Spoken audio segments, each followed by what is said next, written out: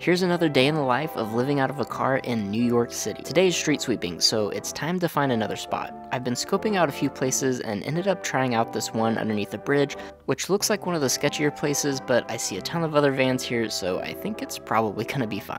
Y'all are so concerned with the shower situation, so here's me going to the gym with my friend. This place has shampoos, body wash, lotion, and even mouthwash, so I don't have to bring anything. Right before, we also took some clothes to the laundromat, so it was a chore day. We timed it perfectly so that they were done right when we finished at the gym. I spent some time exploring a bookstore, reading, and getting ideas for writing, and then went to meet up with my friends Anne Marie, Ryan, Elliot, and Nick. We went to H Mart, that in my opinion always has the best packaging, and got stuff for a little dinner that we all ate together after getting a little boba, which I can actually afford since I live in a car. One of my favorite parts about New York is how just today I've been able to go everywhere around the city thanks to the subway, and now I can go back to where I parked. Another day rent free in the Big Apple.